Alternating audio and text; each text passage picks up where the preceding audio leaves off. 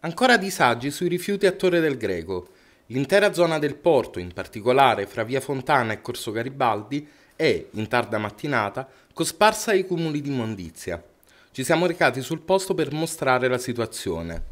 La prima zona invasa da rifiuti è nello slargo a ridosso delle cento fontane e dai piedi del palazzo baronale. Oltre ai soliti sacchetti spiccano per altezza ed estensioni pezzi di legno, probabilmente mobile usato, distrutto e poi abbandonato lì. Le condizioni peggiorano percorrendo via Fontana e percorrendo soprattutto i vicoli che la collegano con Corso Garibaldi e con il porto. Anche in questo caso possiamo notare sacchetti di ogni tipo depositati ai bordi della strada, ma soprattutto ingombranti di ogni misura, da servizi igienici ai soliti materassi usati, fino ad arrivare a copertoni, telai e scarti di officina.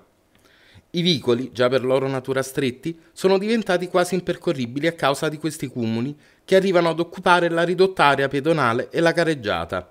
Persino il sottopassaggio sottostante la ferrovia in via Libertà è bloccato da pezzi immobili posizionati in equilibrio precario.